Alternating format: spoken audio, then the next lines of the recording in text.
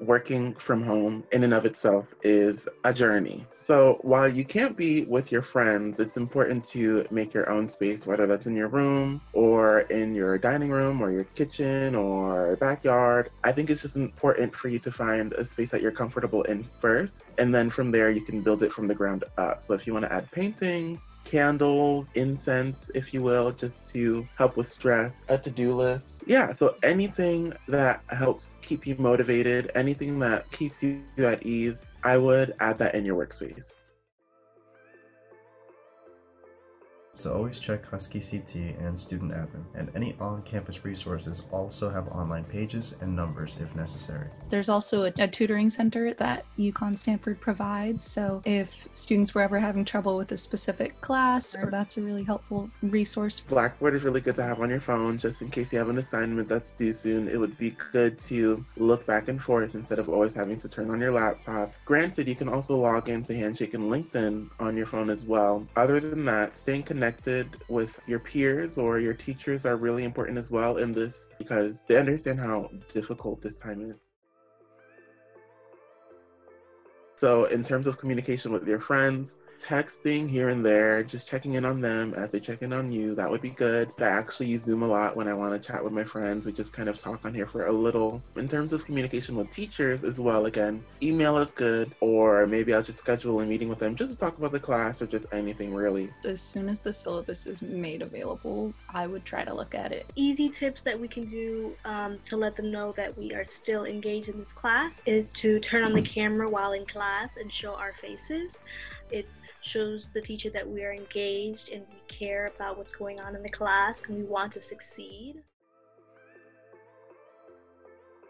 Refueling is very important as well to keep motivated. I usually give myself daily affirmations. I usually turn a negative thought into a positive thought, trying to keep yourself motivated, thinking about the future. I think about the future a lot in a positive sense because I have a lot of goals. I have a lot of dreams that I need to achieve once I'm out of here. So I keep telling myself that, and that keeps me going.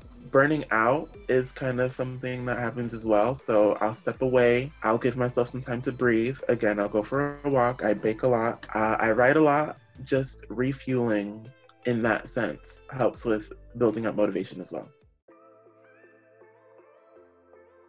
Keep your desktop organized Keep your files arranged. Keep your workstations clear and tidy so you know where everything is and you don't add any unnecessary stress onto your load. I use Google Calendar and I think Google Calendar is chef's kiss, my love. Junior year going into senior year, it saved my life. Setting an alarm just to wake up at a certain time. If I need to nap, I'll nap at a certain time. Trying to make yourself any sort of a schedule you can, whether that be on a whiteboard you have at home or a piece of scrap paper, it can be really helpful just to see it all in one place and makes it feel more possible.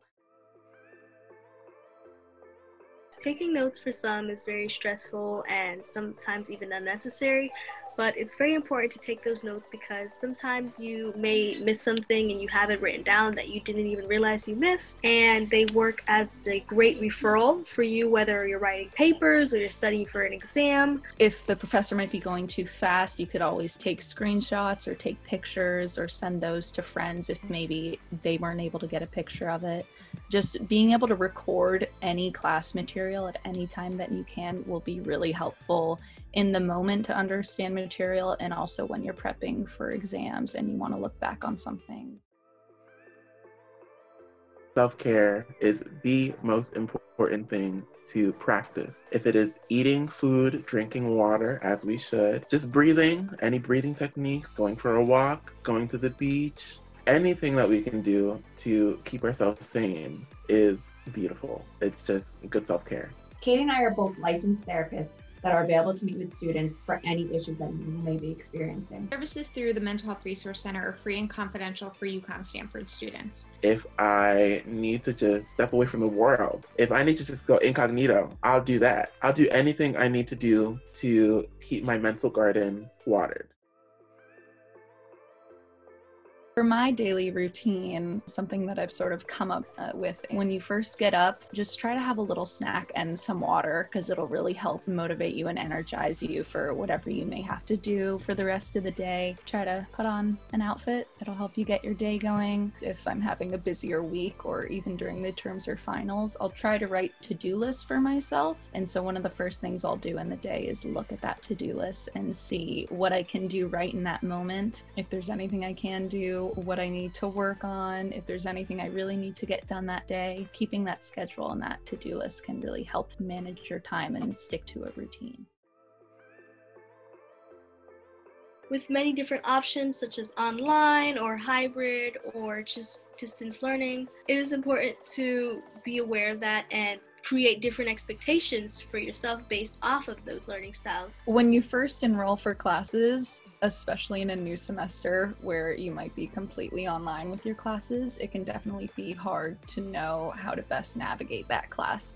As soon as you can, just take a look at your syllabus and try to gain as much knowledge from that as you can. But it can be a little easier if we are able to differentiate between the eight course modalities that UConn has in place. It's important to remember to build on and start new relationships as well as connections because those are the connections that will help navigate and motivate you to complete your assignments, whether that be through the use of study groups, peer review sessions on your work. Simple things like those can make the difference.